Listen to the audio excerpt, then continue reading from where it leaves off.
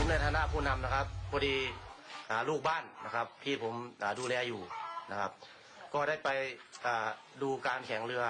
แล้วก็ดูหมอลำนะครับ ในประมาณสักสี่ห้าทุ่ม ผมก็ได้รับแจ้งจากลูกหลานที่ไปเที่ยวงานนะครับในหนองญาตินะครับ ว่ารถหายนะครับ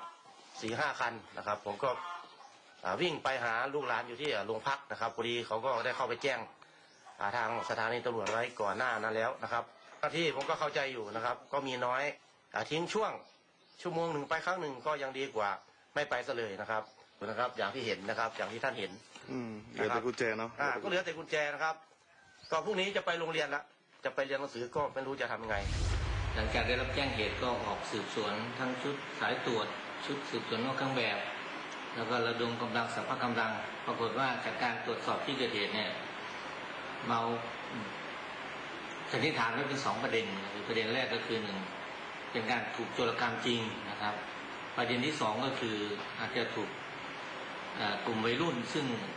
ต่างหมู่บ้านเอารถไป อันนี้ก็อยากฝากพี่น้องประชาชนด้วยว่ากรณีที่ท่านไปเที่ยวงาน หรือไปงานต่างๆเนี่ยกรุณาให้ความร่วมมือกับเจ้าหน้าที่ทางเจ้าหน้าที่ทุกฝ่ายนะครับเพื่อเป็นการป้องกันเหตุ